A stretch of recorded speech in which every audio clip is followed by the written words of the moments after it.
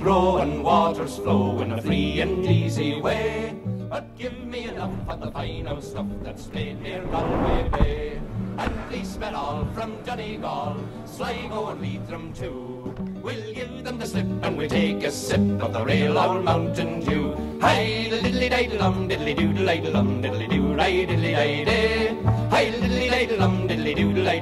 diddly diddly diddly. At the foot of the hill there's a neat little still where the smoke curls up to the sky. By the smoke and the smell you can plainly tell that there's With a few spring showers left in the season, the cabin re-remodel was paused. Everything was tarped up and we turned to a few other things on the pre-launch task list. This is when we met Rolf. Good morning. How are you? Oh, well, Good to meet to So Rolf left his business card wedged in our ladder, and he owns his own metal machine and fabrication shop a mere 20 minutes away. You know what amazed me is that um, that, that in the videos, the perspective you see, it's so much smaller on the videos than you see it in person. Yeah. You know, the, fir- the first time. Uh-huh.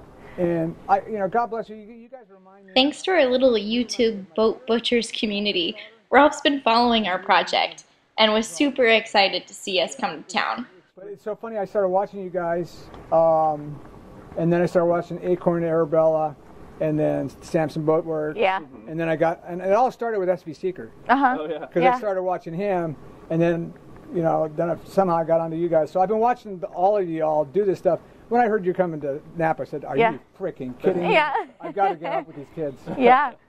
So did you look at my website? I did. I did. So you kind of get an idea of what I do. Yeah. Yeah. I've been dealing with race cars. Boats have always been in my life. Mm-hmm. I guess what I'm offering you guys is a little bit of knowledge, Mm-hmm. um, a place for you to learn. Mm-hmm. Um, if you're willing to learn, Yeah. you know, to do metal work.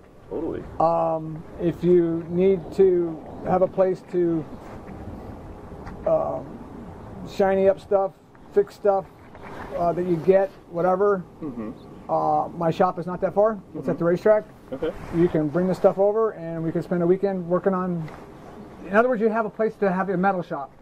We're so excited to work with Rolf and can't wait to melt some metal. Holy crap, your deck is done. God, there's a ton of room. it's, it's, it's amazing. You know, the video doesn't give it justice. It really doesn't do it justice as far as the amount of room. This is going to be like, I mean, this is bigger than people's tiny houses. so is what what's that all going to be up there? Is that going to be like So, sleeping or You, So you're the so, first person so to hear you're this. Actually, you're, you're seeing something that is uh, totally Been in the dark. We haven't told anyone or said anything about Oh. it, so you're getting a huge sneak peek. so, I'm actually those are deck beams that I've been cutting and laying in place. That's going to be a deck. Uh, we've decided that the cabin house, or I've decided that the cabin house is is too long. Um, I want a More of a foredeck. yeah. I want seriously? yeah. Yes. My God, the decisions you make. I want a bigger foredeck. Uh, Why? well, because so that whole Yeah, why, that Garrett? whole area under there is, is Okay, I'm gonna bust his balls about this because all right, but I want to hear this. All right. so the whole area under those beams. So Garrett explains his reasoning, but you guys got an earful of that last episode. So once we got back on focus, we began to discuss a few things we're going to make with Rolf's help. No fuel tank now. Well, that's Um, one thing we got to build. Yeah. That would be sweet. Fuel tanks, chain plates. First on the list are pintles and gudgeons for the rudder. But more on that next episode. Things were starting to dry up, and it was time to start making progress again.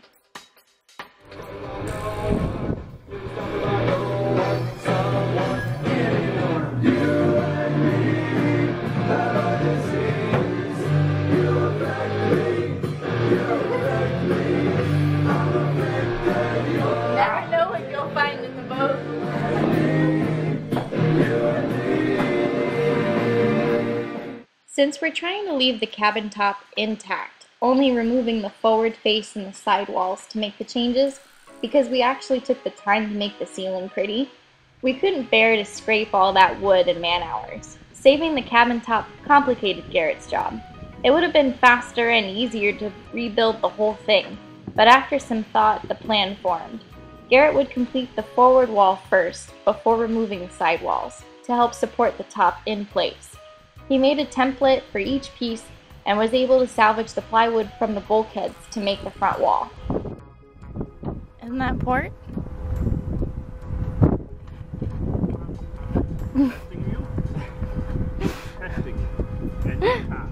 Well done. Good job. Won't be the last test, so stay on your toes. Class dismissed. Welcome.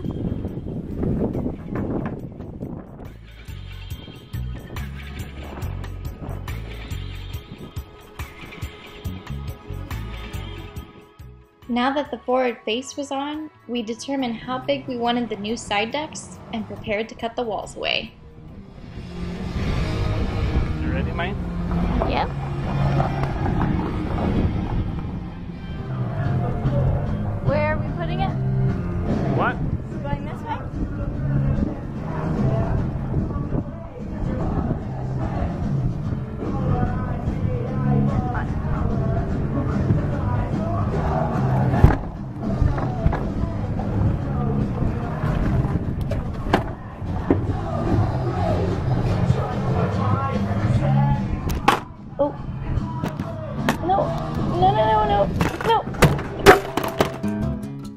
Never did take that uh camera safety course. Oops.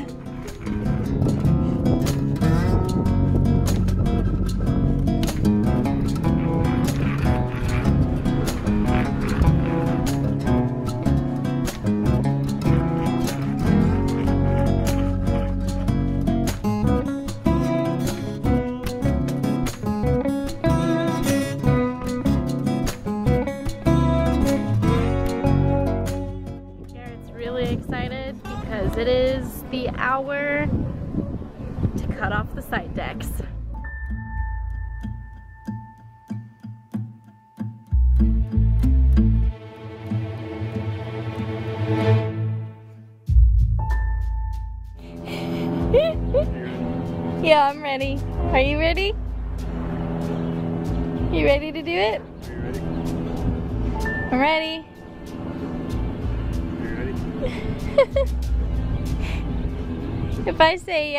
this was your idea. I believe in you.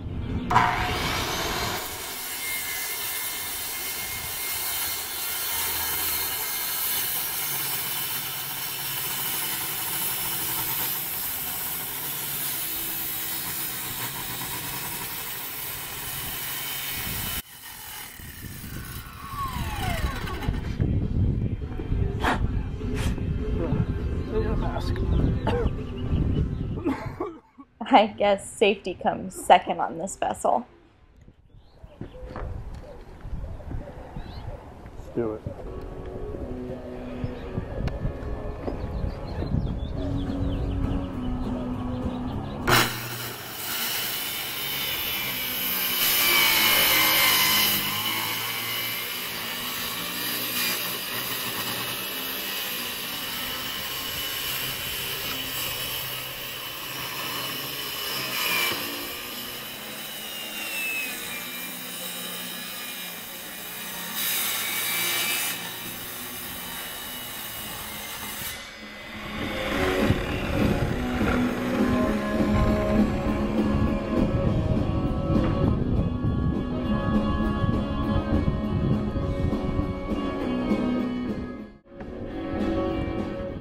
Just to do the same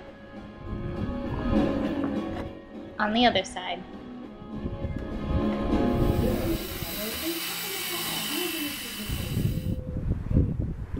What was that, a screw?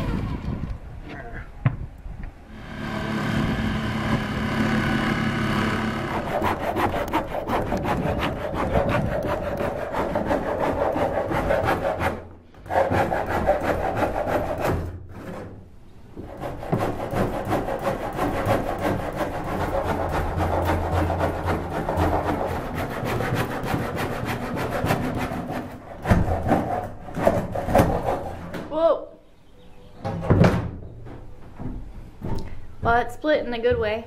Yeah, Back. yeah, they've been, a couple of them have done that. So you're just alternating from port and starboard, keeping them even? More or less.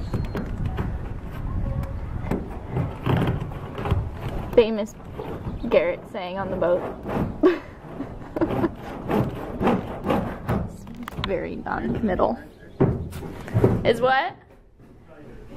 No, you're in the Orford.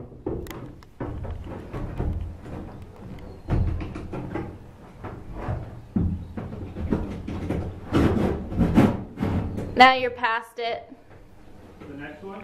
You're past it, yeah. Yeah, so you gotta move a little aft to get it. You're in front of it.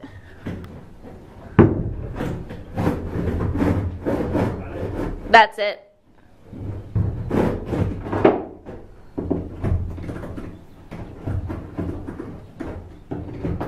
Do you need me to hold up the cabin? What? Do you need me to hold up the cabin Might just need to, uh, so it's not pinched? might just need to prop it a little bit.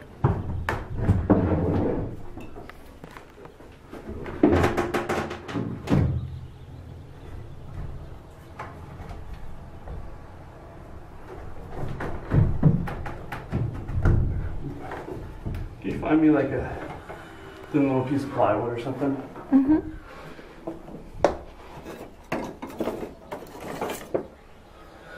That might break. Too flimsy? Might work.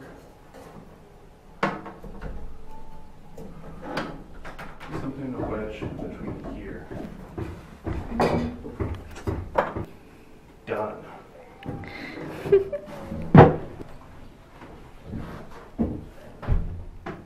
Uh, no, you're still too far aft. Close. There you go.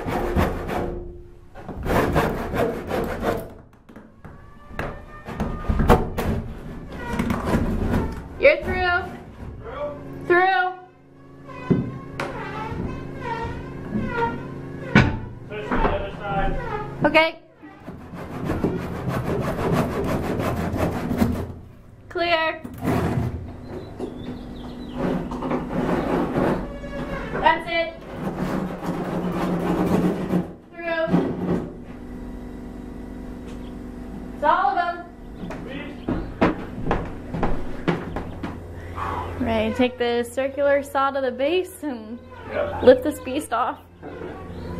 Oh yeah. The only thing I have to do before I do that Uh huh.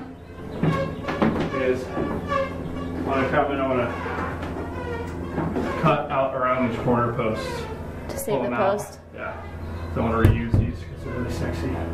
Yeah.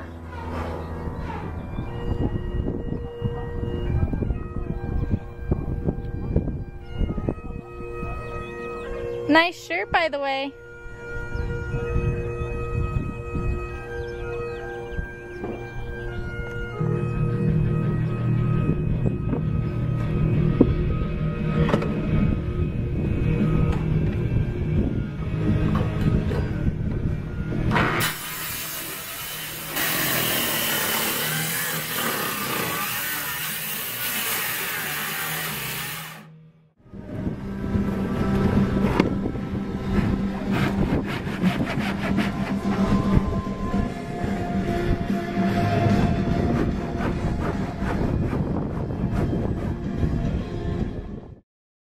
So we peeled off the sidewalls, first port, then starboard. And the following day, Garrett worked on putting in the new carlins Next thing I and side deck beams. Is I laid in these new carlins, and uh, so they're about 14 feet long. And then after the new carlins, uh, which I had to bend some shear into to match the hull profile, Then I put in new side deck beams on every station. Um, and uh, just basically cleaned up the edge of the old deck so it's ready for uh, new plywood. Also, so where the where the mast comes through, I put these big, um, I doubled up on the beams. So these are just kind of big double sawn beams here. And then this is a new blocking for the mast to go through. And I made two big half inch bolts out of some leftover uh, the 20 foot sections of galvanized rod. One! Our first keel bolt. That I had when I was building the keel. Um, so yeah, I cut and threaded and uh, used one of my big augers and bored through the beams and through this block and bolted them on each side. So that's where the mast would go through be nice and solid. And uh, so what I'm doing today is I'm filling in the new deck. So let's take a look on this side and you can see that I've got the new deck going in. This is the first layer um, and there's a little butt joint right there on a side deck beam. Um, and then the next layer I'll put down and it'll start on this end.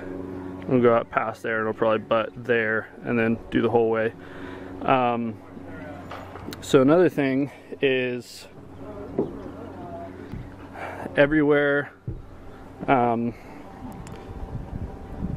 where the new deck joins the old deck.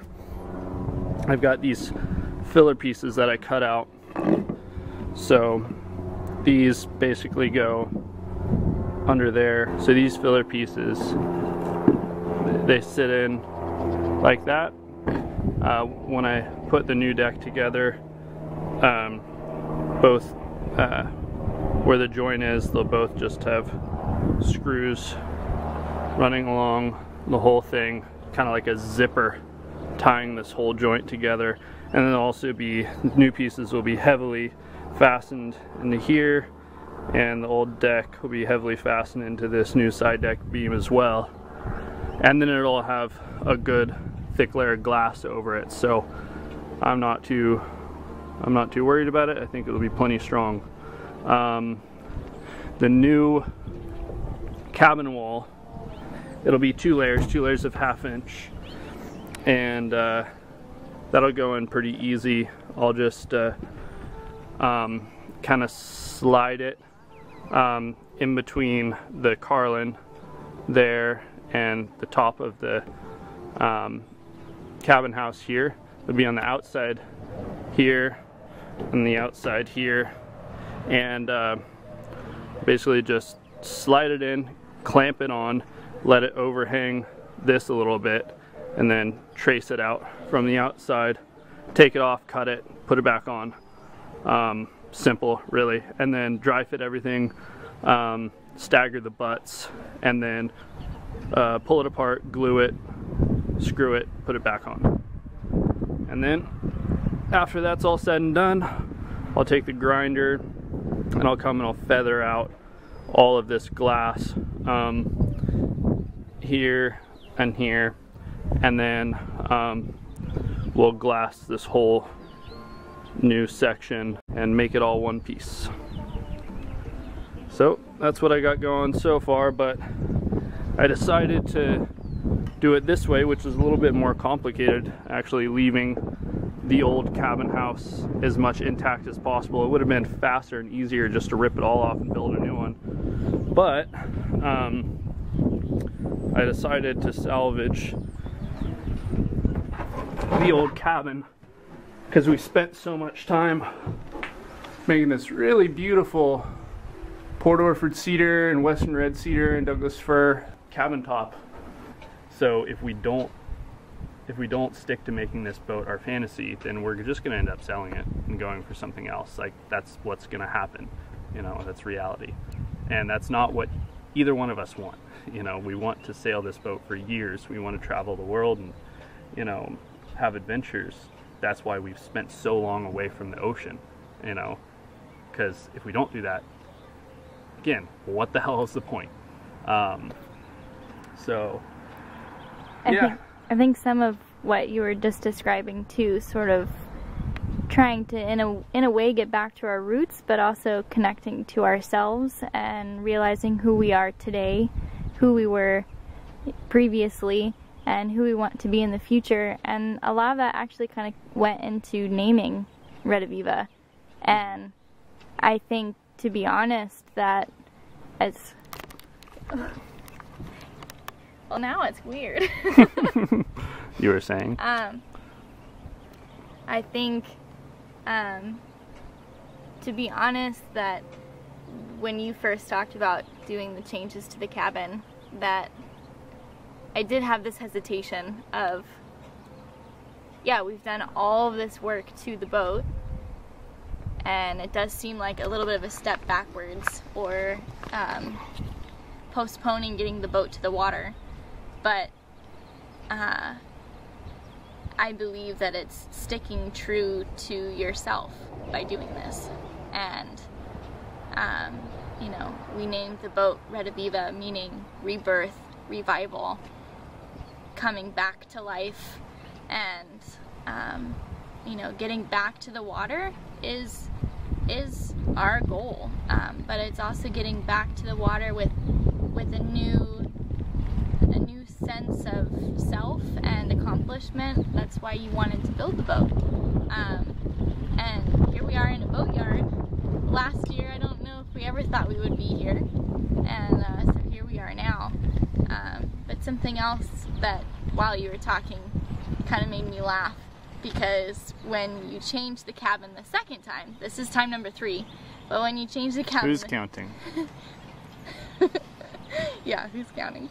But when you changed the cabin the second time, I remember filming you and we were talking about this and we were looking on to sort of the original layout and I remember sort of prompting you and saying build it how you want it. You know, that's that's why you built the boat is to build it how you want it. And I don't know if so much compromise or like just wanting to get back to sailing so bad made us make choices that were quicker and I don't think all of them were wrong by any means because we are we were able to truck the boat last fall. And um, but I think we can start thinking about it smarter so we don't end up creating more work for ourselves in the long run because making a compromise on the cabin even though you had changed it a second time it was still a compromise from what you really wanted. And now we're doing it. You're undoing a lot of your work. So you know I'd rather let's just tackle it the way that you want it from the get-go. And you know we'll figure everything else out. We always do.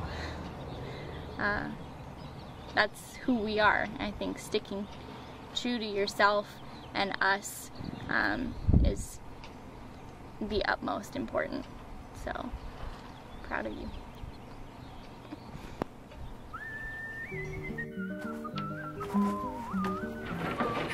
Up next, we get the sheets of plywood up on deck and get ready to finish off the cabin remodel.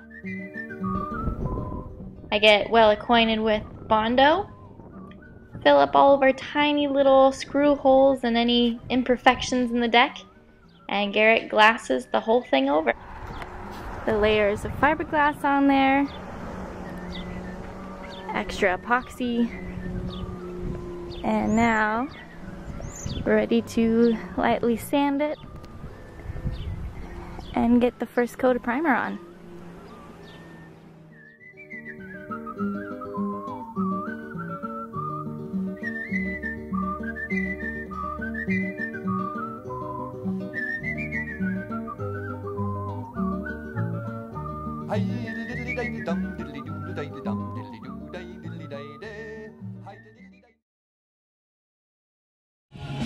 Behind the scenes action. This is how it's all done, people. All you supporters. This is what Ruth has to go through. Yeah, I Sitting sit in a- here and I film Garrett. Seated position while she's got to listen to Garrett So sing some some silly punk rock songs, pull up his pants time and time again, and uh, it's rough. Hey, I'm wearing a belt. Damn, times have changed.